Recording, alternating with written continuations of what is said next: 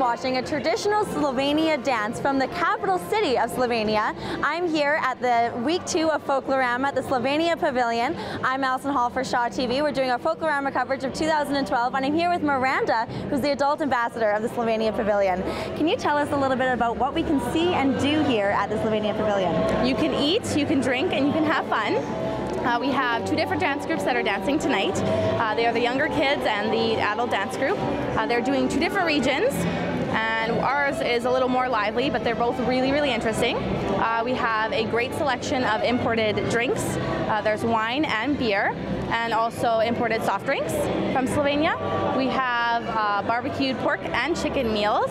We also have coleslaw, potato salad, and an array of delicious pastries. Sounds pretty delicious. and so, can you tell me a little bit about your cultural display? It is large.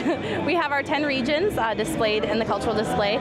Each region has a specific uh, costume, a specific design, and they're all quite interesting, very lively, very colorful. Wonderful. So come on down to the Slovenia Pavilion, see some lively dancing and some very beautiful costumes. For Shaw TV, I'm Alison Hall.